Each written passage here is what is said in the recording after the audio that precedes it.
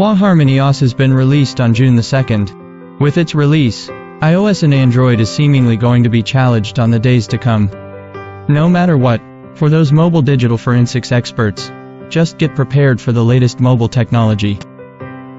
To equip investigators, SPF Pro from SalvationDATA has not only been firstly supported HarmonyOS data extraction, but also the latest versions of iOS and Android.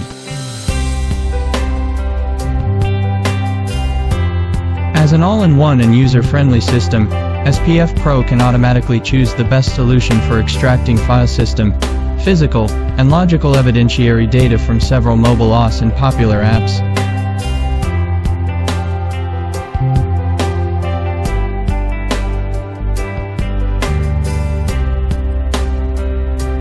Beyond above are all Chinese brands, Xiaomi, Huawei, Oppo, Vivo etc., mobile phones and apps data extraction, SPF Pro has more extraordinary performance.